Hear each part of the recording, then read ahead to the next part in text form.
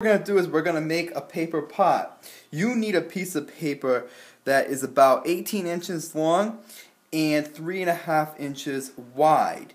This piece of paper is about that size. So, what you're going to do is you're going to take this press right here and you are going to roll this paper around this press. You need to leave about an inch overhanging from the press.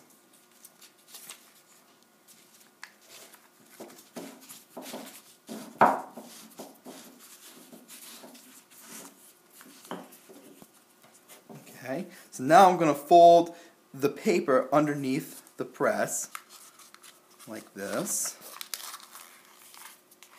And now I'm going to take this press and I'm going to press down on the base and I'm going to pull up and now you have a paper pot.